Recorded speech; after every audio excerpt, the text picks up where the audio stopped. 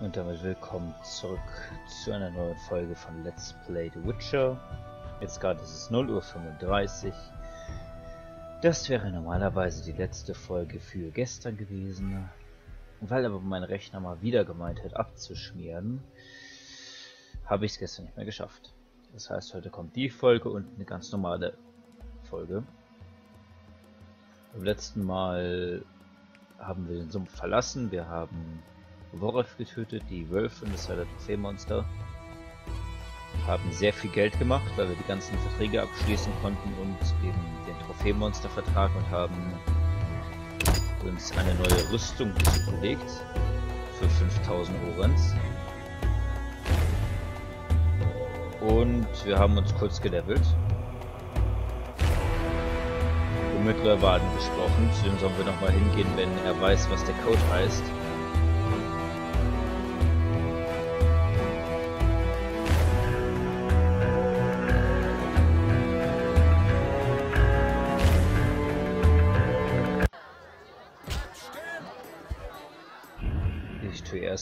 Runterdrehen die Lautstärke, weil sie gerade wieder so laut ist.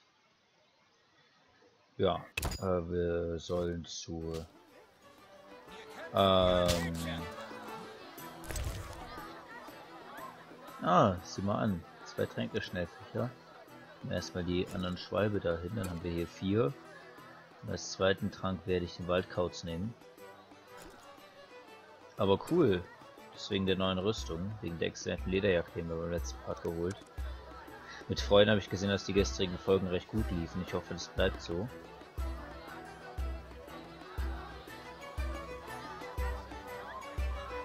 Ich würde ja gerne mal das Silberschwert verbessern, aber noch das ganz normale Hexer-Silberschwert. Aber gut, jetzt schauen wir erstmal, was äh, rausgefunden hat.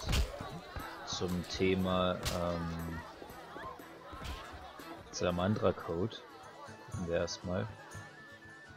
Ich frage mich ja immer, was diese geheimnisvollen Adligen hier sind. Also wer die sind vor allem. Leuwarden. Ja? Was habt ihr aus diesen Dokumenten erfahren? Das war eben die, die wir beim letzten Mal gegeben haben, mit dem Code.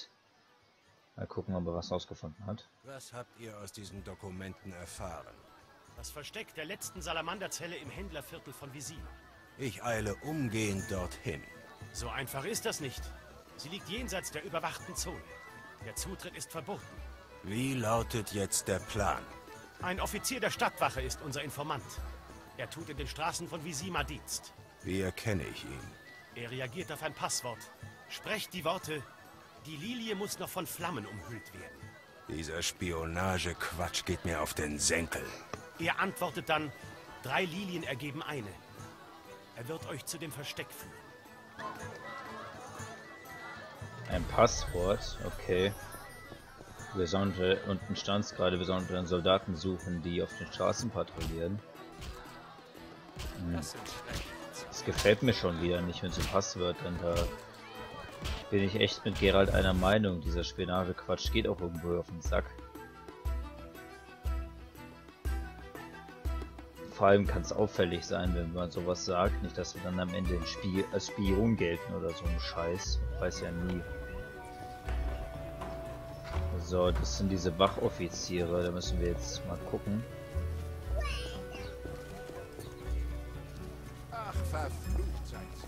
Da vorne ist ein Wachoffizier und hier ist auch ein Wachoffizier. Die sprechen wir als erstes an. Ah, hier ist noch ein Wachoffizier. Euresgleichen ist hier nur geduldet, nichts mehr. Okay. Das der Wachoffizier. Gerald von Riva. Wie er leibt und lebt. Ihr habt die Quarantäne unterlaufen und euch offiziell Unterstützung erschlichen? Es herrscht Kriegsrecht. In Kriegszeiten gelten andere Gesetze. Ich werde mich so gut ich kann danach richten. Das solltet ihr auch. Denn Verräter bekommen die Klinge zu spüren. Drohen wir noch einmal. Und mein Schwert wird das letzte sein, was du siehst. Wie war das mit dem Kriegsrecht? Wie war das mit dem Kriegsrecht? König Voltest hat in Visima das Kriegsrecht verhängt. Warum? Die Pest wütet im halben Königreich. Und Ungeheuer machen die Straßen der Stadt unsicher. Die Quarantäne und die Patrouillen reichen nicht aus? Das hat euch nicht zu interessieren. Aber offensichtlich reichen sie nicht aus. Wenn das der König überhaupt gemacht hat, ich zweifle ja dran. Wir wissen ja, dass zum Beispiel die Erlasse gefälscht sind. Oder, nein, wir wissen es nicht, aber sie sind wahrscheinlich gefälscht. Äh, ich suche, werde ich nicht fragen, weil wir gar nicht wissen, was wir denn suchen. Die Lilie muss noch von Flammen umhüllt werden. Die Lilie muss noch von Flammen umhüllt werden. Was? Ihr wollt Blumen? Von mir? Ich meine, Geht jemand anderem auf die Nerven. Okay, der war es schon mal nicht. Was haben wir Neues? Also das war ein Fiasko. Zum Glück wussten sie gar nicht, wovon ich rede. Ich muss den Geheimagenten finden. Ja, es gibt ja eine Menge Offiziere hier in der Stadt. Das kann jetzt eine Weile dauern. Da ist vorher einer lang gegangen. Das ist irgendeiner von diesen Wachoffizieren, aber es gibt ja einiges mehr als einen. Was soll ich tun? Ja, da ist die Patrouille. Mit einem Wachoffizier. Schau mal, ob es der ist. Stehen bleiben. Ja? Die Lilie muss noch von Flamme umhüllt werden. die Lilie muss noch von Flammen umhüllt werden. Was? Ist das ein Passwort? Was? Wartet. Ihr wollt mich auf die Probe stellen. Hey, Jungs! Ich glaube, wir haben hier einen Störenfried. Ja, genau das habe ich befürchtet. Ähm, genau deswegen halte ich vom so Passwörtern nichts. Nein, ich habe einen Fehler gemacht. Nein. Ich habe einen Fehler gemacht. Gebt auf. Ich sollte mich hier mit einem Freund treffen. Ich sollte euch ins Verlies werfen. Ihr habt Glück, dass mir Prinzessin Ada in Kürze einen Orden verleiht. Einen Orden? Dafür, dass ich gegen die Elfenterroristen kämpfe. Gibt es keine größeren Probleme? Was ist mit der Pest? Den Ungeheuern? Haltet ihr mich für einen Tölpel? Ein Terrorist bringt doppelt so viel Gold wie eine Kikimore. Und ist leichter zu fangen. Fangen? Man muss einen anderlingen Kollaborateur lediglich identifizieren. Gieriges Arschloch. Ja. Gieriger Penner. Klar, ein Orden dafür, dass er faul rumsitzt. Puh, das war knapp. Wo steckt dieser Agent? Ein Orden dafür, dass er faul rumsitzt. Super. Endlich sorgt sich jemand um unsere Sicherheit. Ist ja wohl einer der ganz mutigen. So, dritter Wachoffizier. Ach, den haben wir schon mal gehabt. Hier ist noch ein Wachoffizier. Aber ganz ehrlich, solche Leute gehen einfach auf den Geist. Ja? Komm, bitte sag mir, dass du das bist. Die Lilie muss noch von Flammen umhüllt werden. Die Lilie muss noch von Flammen umhüllt werden. Was? Oh, Entschuldigung. War nur ein Scherz. Drei Lilien ergeben eine. Geht Ihr doch. hättet euch ein einfacheres Passwort ausdenken sollen. Nun denn, hier ist der Plan. Schlag Mitternacht, trifft meine Einheit in den Kloaken ein. Kommt ihr nicht mit mir? Wir geben euch Rückendeckung, aber höchstens zwei Stunden lang. Wir treffen uns dort. Männer! Achtung! Vorwärts, Marsch! Okay, wir haben ihn gefunden und wir sollen um Mitternacht bei ihm in den Kloaken treffen. Wenigstens etwas. Boah, ey, die Leute hier. Dann gehe ich jetzt erstmal in die. Die. Ich würde hier gerne nochmal mit diesem. Weil ich hier gerade auf dem Markt bin. Wo war denn der? Welcher war denn der? Es gab hier einen Händler, der kein Händler war, sondern ein Salamandra-Typ. Ich weiß aber nicht mehr, wer das war. Der sektarische Händler war es nicht. Der Großhändler glaube ich auch nicht. Schnapsverkäufer vielleicht. Willkommen. Viele Getränke und andere Waren. Nee, der war es nicht. Wir können gleich mal schauen, ob wir irgendwas loswerden können. Nee, das ist alles alt, den könnten wir noch brauchen. Ja, egal. Äh, ich wollte halt gucken, weil es ja hier einen gab, der für die Salamandra, ne? Und so. Also, Kloake sind irgendwo hier. Wo denn? Ja, ganz raffiniert auf der anderen Seite. Super. Das ist wieder helle. Ach. Jetzt einmal auf die andere Seite. Manche Spieler, ey, sind echt doof.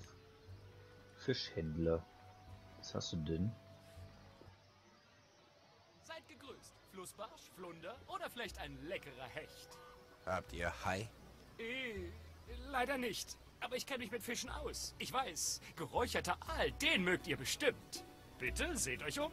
Nur zu gern. Ich liebe den Geruch von Fisch. Was zur Hölle? Was ist das denn für ein Händler? Ja, egal. Einige der Marktbuden stehen leer. Einige der Marktbuden stehen leer. Ja, viele Händler machten pleite, als die Steuern für die Armee erhöht wurden. Anderlinge zogen ins Ghetto, andere Kaufleute fürchten Banditen und Ungeheuer. Nicht viel Konkurrenz für euch. Nicht viel Konkurrenz für euch. Nicht, dass jemand bessere Waren als ich hätte. Ich habe sogar noch mehr in das Geschäft investiert, denn ich erwarte einen baldigen Aufschwung. Viel Glück. Ich liebe den Geruch von Fisch. Hat er denn Fisch? Oh ja, ausgenommener Fisch und normaler Fisch. Aber Hai ist eigentlich auch ein Fisch und den hat er offenbar nicht gepeilt. Schon komische Leute hier in Visima. Wo ist denn jetzt der Kloakenzugang? An der Ecke da sollte er sein. Da, Eingang zur Kloake. Ja, ich gehe rei gleich rein, haben ja gerade eh nichts anderes zu tun. Vielleicht ist der Typ schon da und wenn nicht, dann kann wir in den Kloaken bis Mittag meditieren. Ja, vielleicht ist der Typ ja schon da. Bei manchen, manchmal ist es ja so ein bisschen ne, seltsam.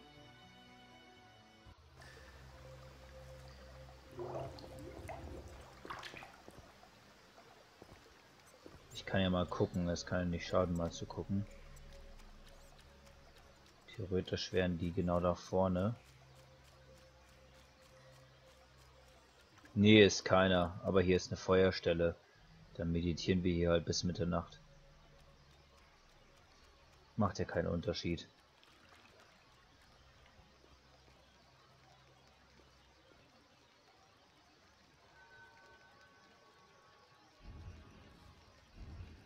Aber davor mache ich lauter, weil jetzt schon wieder so leise war.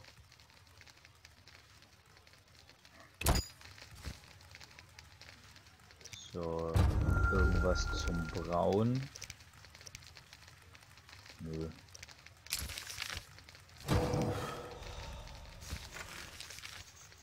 Gut, dann bis Mitternacht meditieren. Und dann vermute ich mal, dass es ins letzte Mantra versteckt geht. Ja, hier sind sie. Pünktlich auf die Minute. Sehr schön, das freut mich. Hallo Wachoffizier. Kameraden, die Leiter. Ist alles bereit? Wir erwarten die Salamander jetzt jeden Augenblick. Wissen die, dass wir hier sind? Nein, aber sie sind wachsam. Sie haben einen wichtigen Gast.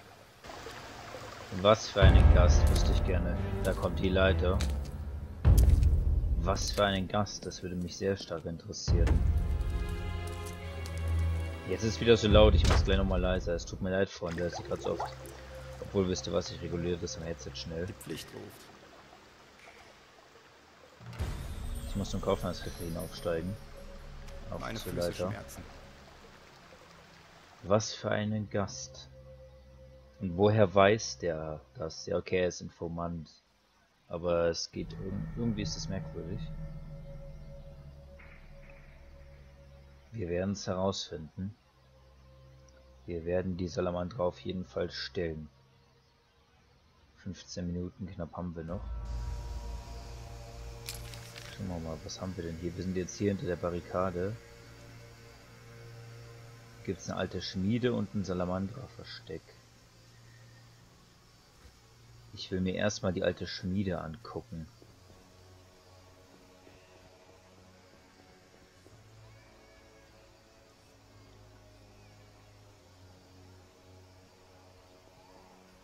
Gang zur Kloake.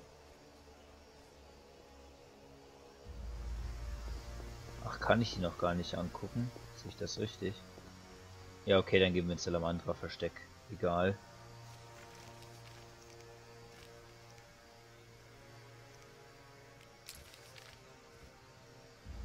Davor werde ich nochmal speichern. Man weiß ja nie. Und ich habe keinen Bock zu sterben, wenn es nicht sein muss. Salamandra-Versteck. Ich gehe hier erstmal auf den Gruppenkampfstil. Salamandra Magier, Salamandra Offizier, man sieht es schon hinten. Gruppenkampfstil erstmal. Obwohl ich bleibe erstmal auf dem starken. Bevor ich jetzt dahinter gehe, werde ich die erstmal ausplündern. Alles mitnehmen, was so geht. Hm? Was ist das jetzt? Ach, ein Video. Moment noch. Beeilt euch. Für den Anfang Akayala Ambrakur. Wir haben ein Bild. Ein magischer Ein Spiegel. unscharfes. Heute bekommen wir vielleicht keine Verbindung zu den Redaniern. Sagte, der Kristall dammt sich auf. Ich erhöhe die magische Korrelation. Es hat funktioniert.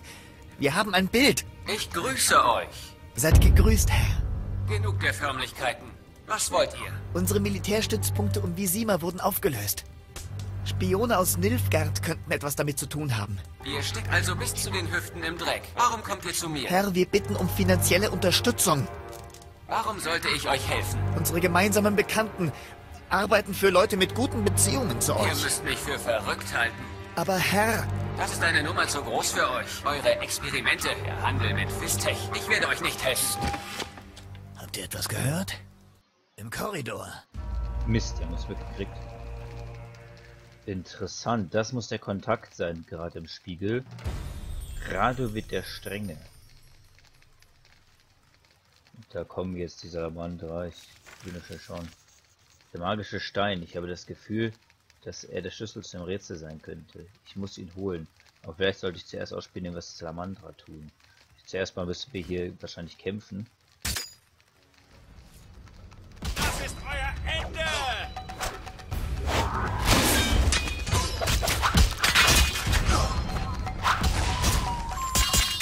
Gruppenkampfziel. Oh, das ist ein magisches Viech und wir sind fast tot. Scheiße. Alter, stirbt man schnell. Wow. Hätte ich jetzt nicht erwartet, dass wir so schnell sterben. Ja gut, aber jetzt wissen wir Bescheid. Wow, wir haben doch im letzten Part erst eine neue Rüstung geholt. Wieso sind wir jetzt so schnell gestorben? Das hat mich jetzt schon ein bisschen angekotzt. Okay. Wir können ja drinnen noch speichern. Die werden ja nicht auf sofort auf uns aufmerksam. Ähm, haben wir gerade gesehen. Schneller Kampfstil bei denen, habe ich gesehen. Das Art ist gar nicht so schlecht. Und der i4 ist auch schneller Kampfstil, das weiß ich zufällig.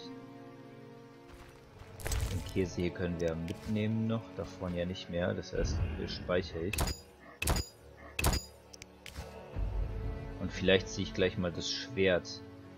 Oder ich schmeiße jetzt mal eine, weißt du was, ich schmeiße jetzt mal eine Schwalbe ein.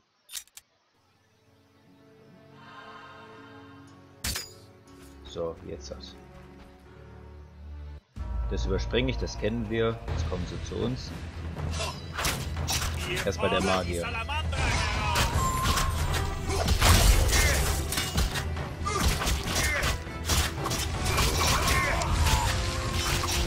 Gut, der Magier ist tot und wir auch fast.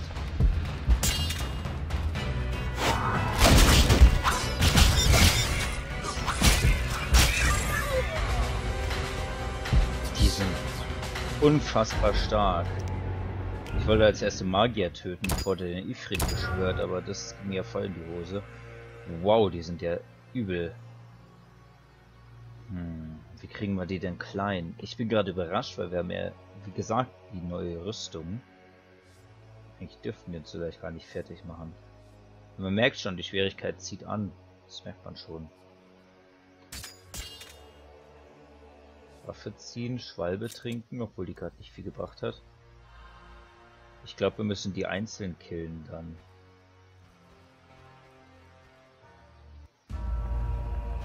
So, jetzt kommen die ja. Ihr werdet langsam Erstmal werde ich vor euch jetzt mal fliehen.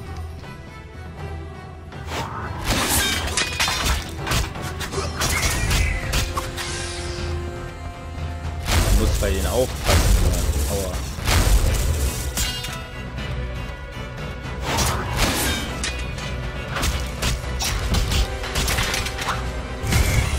Okay, der ist tot. Gerald, lauf. Ich muss gerade so kämpfen, weil sonst stirbt man da ja.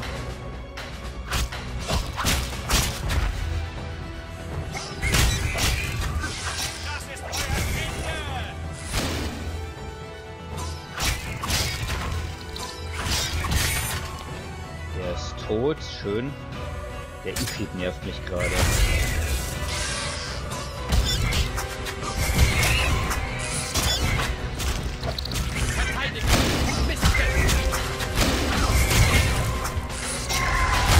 Gut, der Ifrit ist tot. Wieder Waffe wechseln.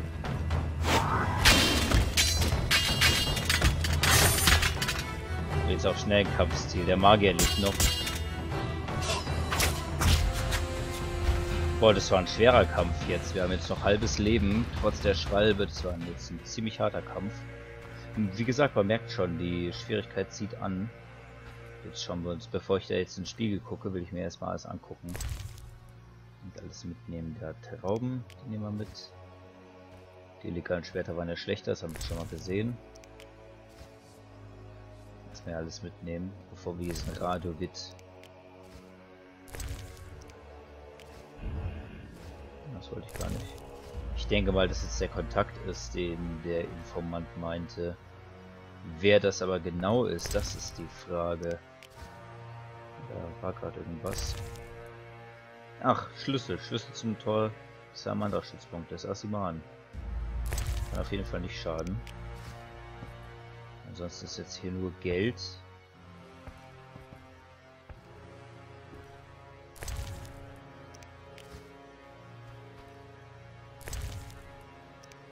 Die Frage ist halt, gehen wir jetzt erst runter oder machen wir erst hier oben? Ich glaube, das war's, was an Überresten.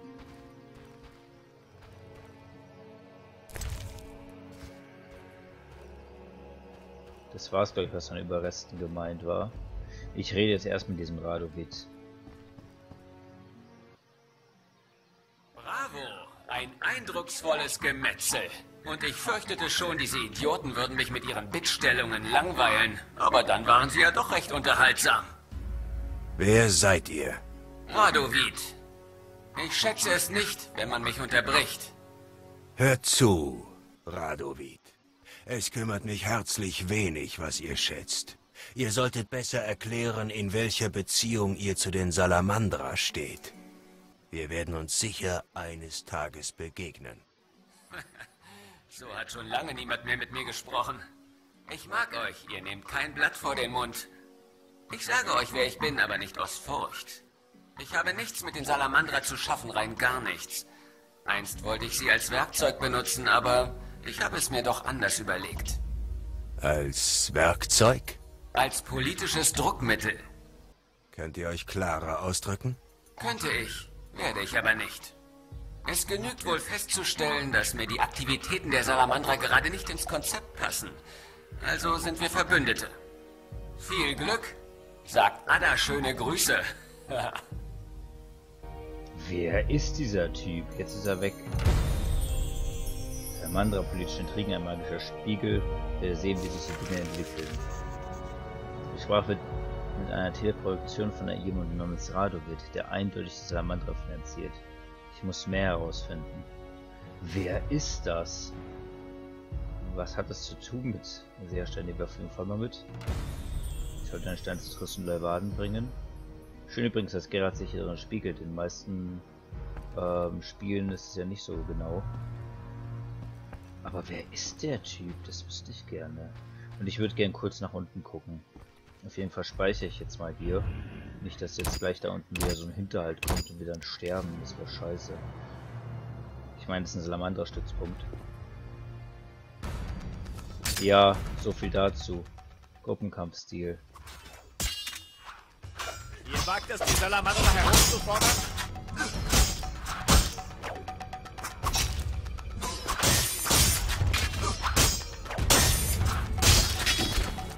Wagt es, mir in den Weg zu stellen.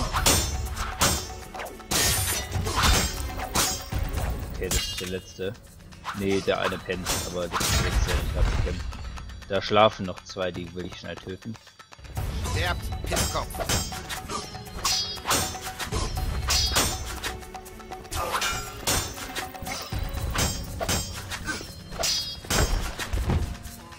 Und dich noch. Ich lasse hier drin keinen am Leben.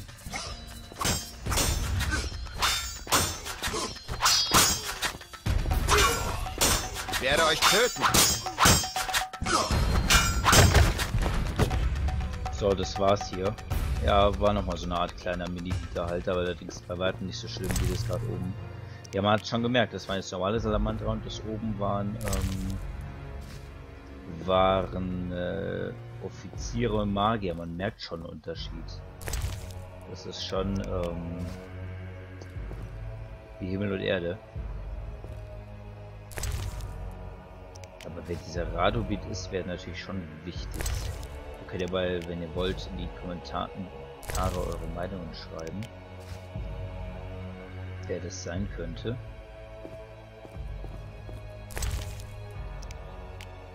Hier nehmen wir noch ein paar Habseligkeiten. Die brauchen sie ja eh nicht mehr.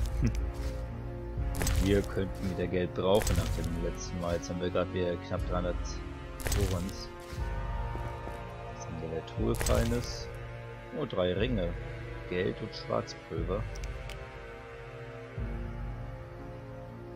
Zwei Ringe können wir hier reinsetzen. Die restlichen zwei, wir haben Nahrung ziemlich viel mitgenommen oben. Das können wir jetzt mal benutzen. Nahrung und was haben wir hier? Himbeersaft für Ausdauer. Ja, wieso nicht? Können wir die Oh, wäre nur eine nötig gewesen. Egal. Dann können wir den Ring hier mitnehmen. Tun wir einen Ring hier schon mal raus. Ja egal. Gut. Mehr war hier nicht, dann gehen wir wieder raus, oder?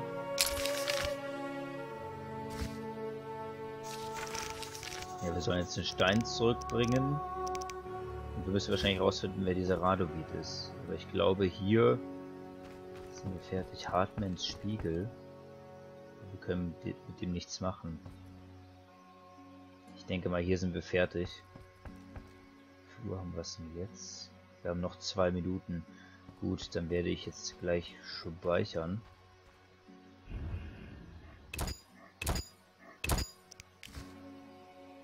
Ja, übler Kampf am Anfang. Hat jetzt echt vier Versuche gebraucht und einen Trank.